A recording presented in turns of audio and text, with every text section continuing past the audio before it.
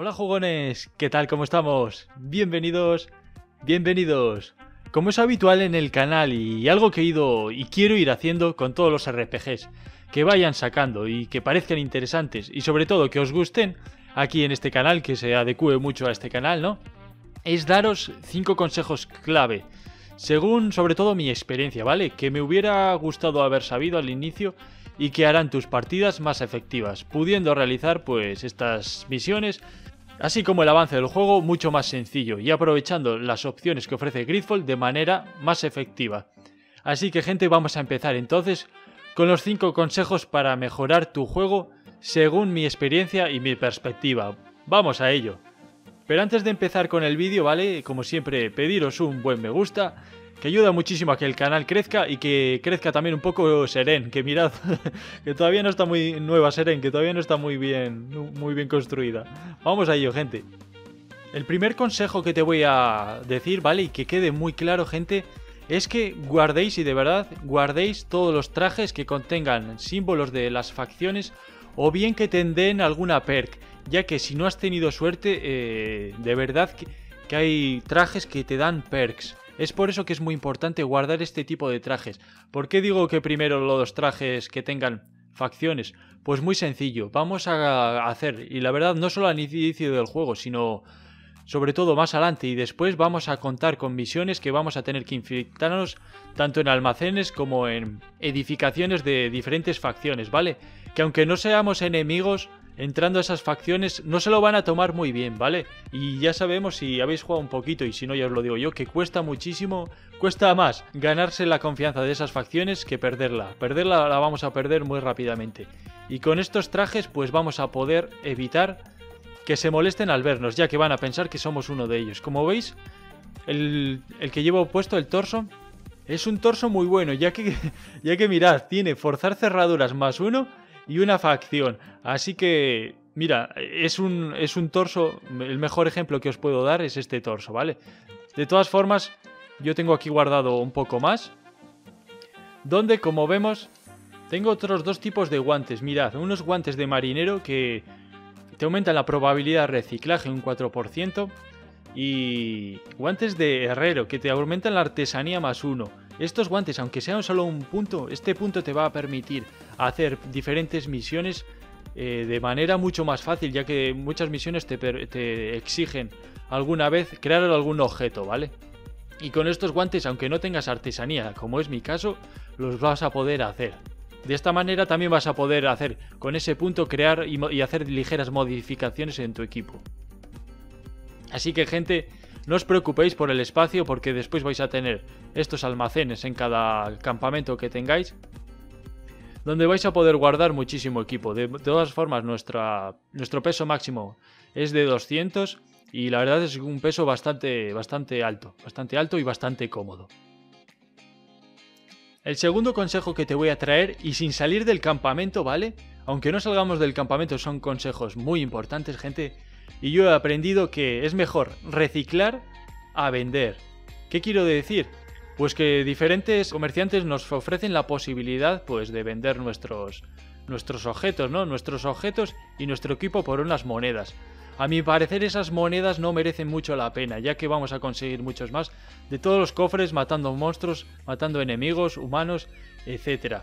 Sin embargo, los objetos son más, son más difíciles de conseguir y reciclando vamos a poder conseguir muchísimos objetos para hacer las modificaciones y para hacer objetos de misiones.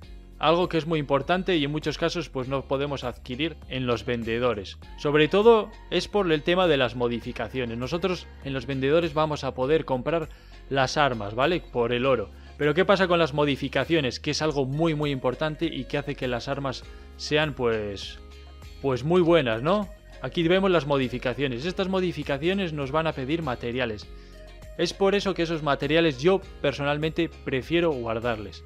Prefiero reciclar los objetos que vayáis consiguiendo y, os recomiendo también que lo hagáis. Reciclar antes de vender. El siguiente consejo que te voy a ofrecer es el uso de la pausa táctica.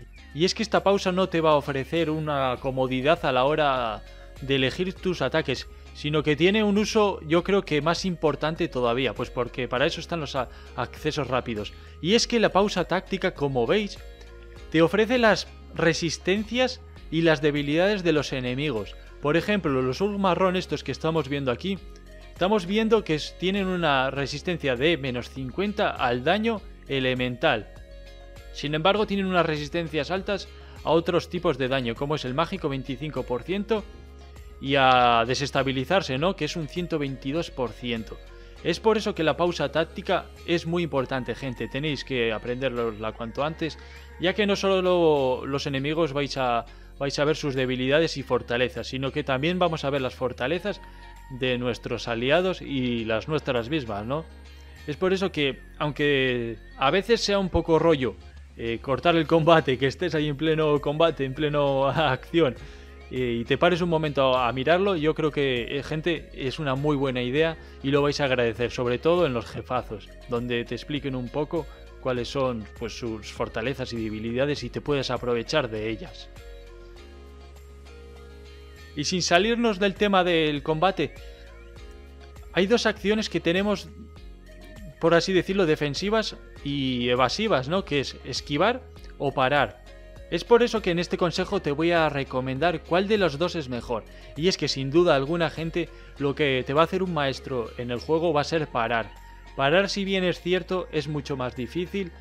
Es posible de que te comas golpes y demás hasta que una vez lo domines. Sin embargo, parar luego es muchísimo mejor ya que te va a permitir, si lo haces en el momento correcto, contraatacar, dejar al oponente vendido durante un segundo o dos que muchas veces son muy valiosos, sobre todo en las dificultades altas. También esquivar viene a ser un poco arriesgado ya que muchas veces eh, por causas del juego, ¿no? Aunque veas que estás esquivando, el monstruo se abalanza hacia ti y te acabas comiendo el golpe igualmente. Sin embargo, si tú eh, contraatacas, ¿no?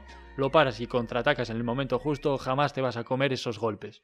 Y aparte de eso, te vas a ganar eh, un segundo, segundo y medio, dos segundos eh, muy vitales, ¿no? Que te van a. se van a tornar a tu favor en los combates gracias a esos dos segundos. Aunque parezca que no, gente, son muy importantes, sobre todo eso, en dificultades elevadas.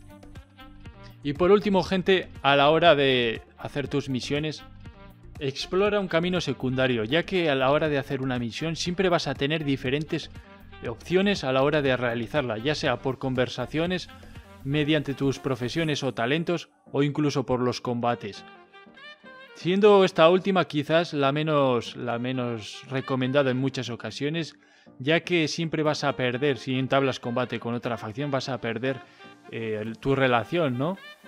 Y no solo ese es el punto, ya que en muchas ocasiones vas a poder ver que una puerta está cerrada y te van a pedir que te van a vender las llaves, ¿no? Mediante sobornos. Sin embargo, si tú exploras vas a ver siempre que vas a tener una segunda opción o una tercera, tanto explorar y encontrar las llaves como encontrar un camino secundario.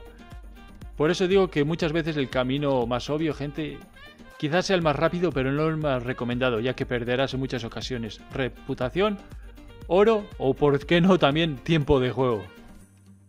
Y nada gente, estos han sido los 5 consejos que yo recomiendo, ¿vale? Según mi experiencia, que van a mejorar tu partida, la verdad es que bastante. Yo los he ido aplicando conforme les he ido conociendo, ¿no? Muchos de ellos son más importantes que otros, ¿vale? Siempre hay alguno mucho más importante que otro. Pero en general estos 5 consejos, gente, yo son los 5 consejos que mejor te puedo ofrecer ahora mismo. Así que nada, si te ha gustado el vídeo, como siempre, un me gusta. Ayuda muchísimo a que el canal crezca y si no estás suscrito, pues te invito a que te suscribas, ya que en este canal siempre encontrarás noticias, gameplays, guías y consejos de tus RPG favoritos. Un saludo y nos vemos en el próximo vídeo. Adiós.